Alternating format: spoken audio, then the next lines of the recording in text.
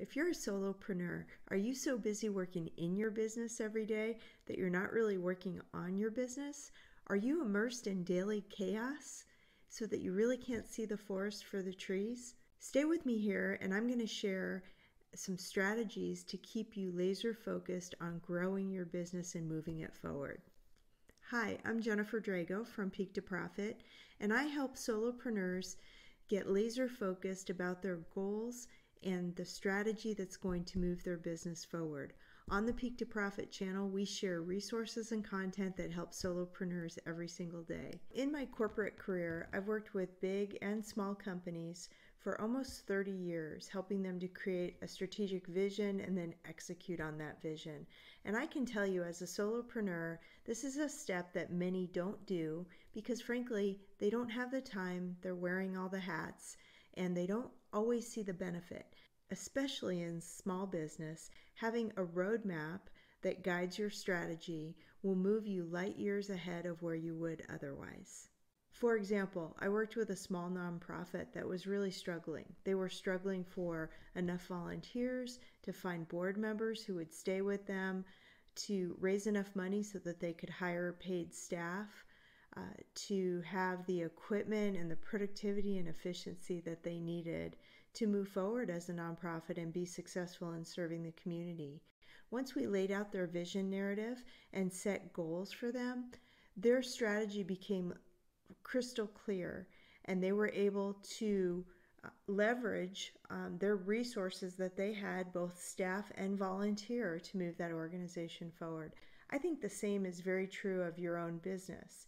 I want to tell you how to get started with that, and believe me, I've heard all the horror stories about strategic planning and goal setting. It can be overwhelming. What does it look like? We're going to simplify it right here. It does not need to be difficult. So let it be easy, and here we go. So, first of all, let's bust some of the excuses and the myths. Um, as solopreneurs, we say that we don't have enough time, and that's true. There are so many things to do when you're wearing all the hats and you're the leader of the organization, plus doing everything from working with clients to your own marketing, social media, etc. It can be overwhelming. The key in growing your business and moving it forward, and possibly even being able to hire a team if that's what you wish to do, really is putting your actions in the right place. Remember the Pareto principle, which says that 80% of the outcomes are dictated by 20% of the inputs. So your actions have to be focused on the right actions so that you can gain that momentum and, and get that 80% of the outcomes that you want to achieve. So if you do that, time doesn't really become that much of an element, right? Because you can actually work less and achieve more if you're working on the right things. That myth busted. Secondly, you don't know where to start. I understand if you've never been through this process, it can be overwhelming to think about, and especially if you don't know the steps. I'm going to walk you through the steps, but we have lots of resources on our website at Peak to Profit where you can learn more um, on your own time or uh, in a guided module with us coming soon. Myth number two busted. Number three is a feeling that maybe your business is different. How do I know this will work for me? I've never tried this before. I can't be certain that I should invest the time and learning necessary to have a strategic plan. I can simplify it for you and make it so easy. And again, I've done this for three decades now. I know that you can't run a business effectively without a strategic plan, especially if you have growth goals. If you want to scale, if you want to move forward, you need to have the vision and the roadmap to get there. Myth three busted. So, what would happen if you didn't create a strategic plan? Well, I bet if I look back a year from now, you're going to be in the exact same place that you are today. Probably still feeling chaotic, a little burned out, working on all the things, not knowing where to focus each and every day. Your days will continue to feel scattered and chaotic, and you won't know where to place your effort any given day. You will continue to feel overwhelmed because there is so much to do. So, now that we've talked about what would happen if you didn't have a strategic plan, let's talk about how simple it can be to create one. The first thing you, that you want to craft for your organization is a vision narrative. So, you've probably heard of a vision statement. A vision narrative is a little bit longer and more descriptive, but it's much more helpful to you in the long run. A vision narrative is a set of six to 10 sentences that are very descriptive and articulate what your organization will look like in the future, usually three years or five years from now. You can pick the time horizon. If you want more information on how to create a vision narrative, I've created a video which will link above, but I also have a freebie on my website that you can download right on the homepage. It's called Peak to Profit, but there's also a link in my bio. So, after you've created that vision narrative, that's your three year horizon or five year horizon, where you want to go, that's your destination. Now you have to start to craft the roadmap to get there. And we're going to look in annual chunks and we're going to do a rolling one year forward period. So, we need to look at the next four quarters. What can we accomplish? What goals should we have in the next four quarters that will move us toward that vision of the organization in the future? And generally, you want to think of goals that focus in four specific areas, three or four specific areas.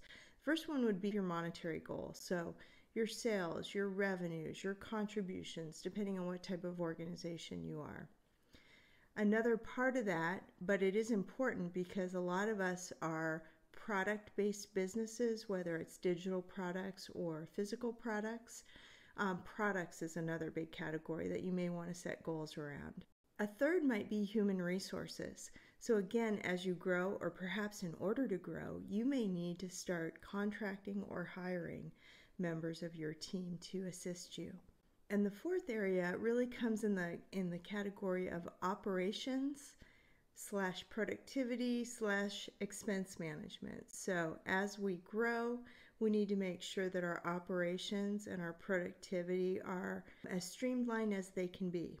So that may be standards, standard operating procedures, uh, systematizing a lot of things that we do, batching. Those are all part of the operational category. So, for each of those four categories, you want to ask yourself what is something that I could achieve in the next year over the next four quarters that would move me toward my destination.